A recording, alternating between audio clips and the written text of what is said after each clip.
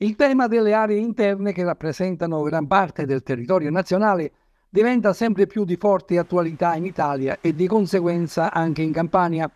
Si tratta di un'azione diretta al sostegno della competitività territoriale sostenibile al fine di contrastare il declino demografico che caratterizza le aree interne del Paese. Il tema viene guardato con grande attenzione e con forte preoccupazione anche da parte delle associazioni e non solo dagli enti coinvolti. Ma a che punto siamo in Campania e nell'Alto Casertano?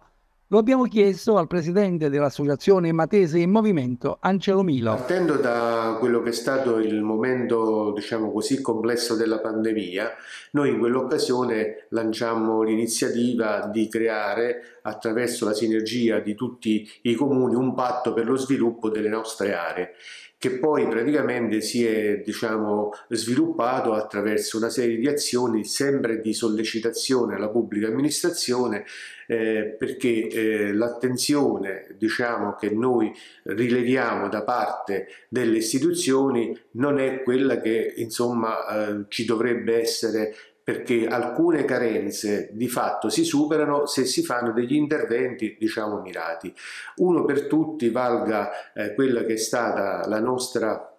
azione per la strategia nazionale aree interne dove eh, l'amministrazione comunale di Piedimonte insieme con quella di Valle Agricola che già curava da tempo questa, ehm, questo filone abbiamo portato a caso il risultato che è quello di aver fatto riconoscere eh, la nostra area come area interna. E questo già è stato un primo passo che adesso però si dovrà concretizzare attraverso quella che è praticamente un piano di orientamento strategico del territorio che in pratica poi porterà a dire a tutte le amministrazioni quali sono le necessità eh, delle proprie popolazioni.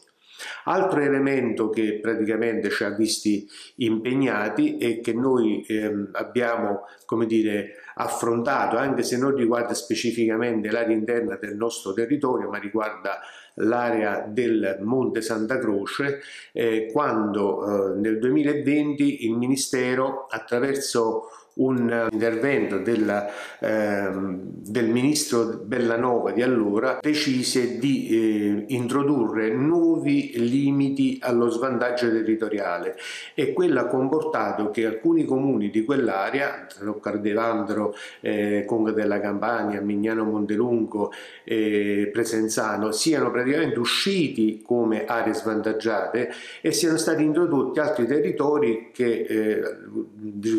appartengono appartengono al, al litorale, tipo Cellole, Cancellannone, Grazzanise, che di fatto ne sappiamo hanno sicuramente meno svantaggi. Altro eh, intervento che abbiamo portato avanti è, è stato quello legato alla capacità di eh, mettere insieme tutta una serie eh, di amministrazioni per fare un progetto unico per il turismo di tutto il Matese, sempre con eh, diciamo, l'appoggio delle amministrazioni locali stiamo cercando di portare dire, a buon fine questo risultato. L'auspicio è che poi praticamente le, la burocrazia ci aiuti in questo perché purtroppo diciamo, questo rimane ancora un grosso limite. Eh, Presidente, si parla del Parco Nazionale del, del Matese, ma mi sembra un parto molto sofferto.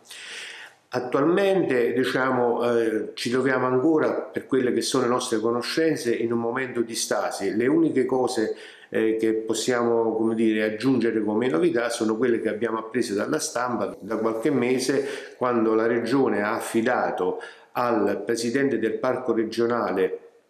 del Matese eh, l'incarico di verificare sia per la parte del territorio campano sia per la parte del territorio molisano qual è lo stato dell'arte delle perimetrazioni perché se non si raggiunge diciamo, questo obiettivo il parco purtroppo nazionale stenderà sempre a decollare. Da Piedimonte e Matese è tutto, Lorenzo Applauso per casertasera.it